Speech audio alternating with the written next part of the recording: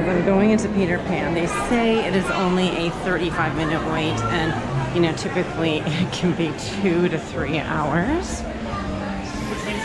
We're gonna go check it out.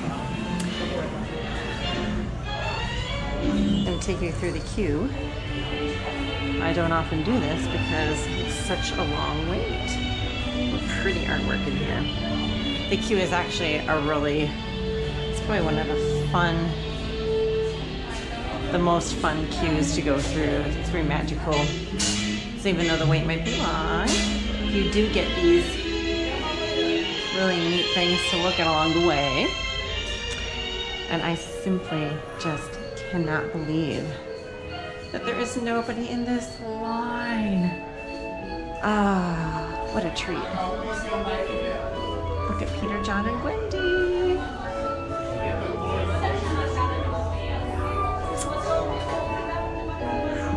This is the fun room. Nana. Oh, here's where the wait begins in this room.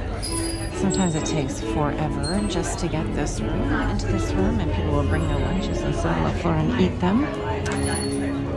But we made it.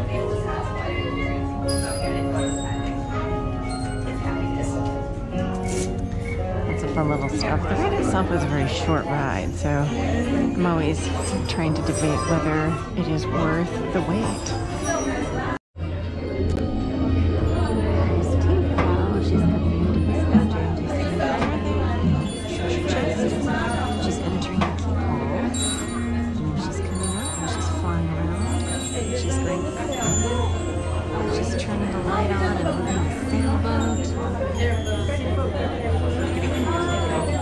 Gonna sometimes. Oh.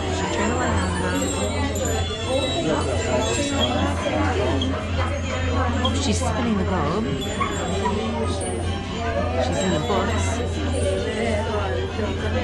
Hmm. She seems to have disappeared. You never know when she's going to show up.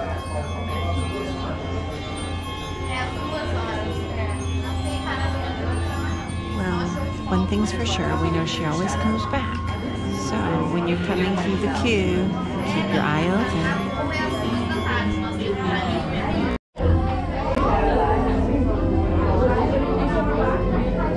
We have Nana's doghouse in the nursery, and have Peter Pan coming into the nursery.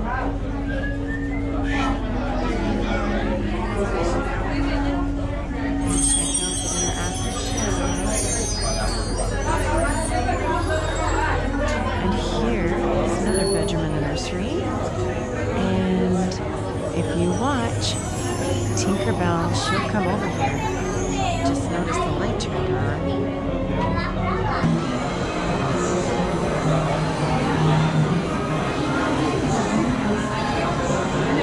Cast member right there, and they'll load you. If you have a fast pass, you don't even go through this queue. You actually just will get on and load right back there um, other end of this area. So getting a fast pass for Peter Pan is always a good idea because typically the wait can be up to three hours and people will wait for it. Um, for me, I did the 30 minute wait today. It was really right at 30 minutes and that's extremely unusual. Um, so I missed my fast pass the other day and I didn't have a chance. There weren't any more available. So I just decided to take advantage of that 30 minutes and that really wasn't too bad.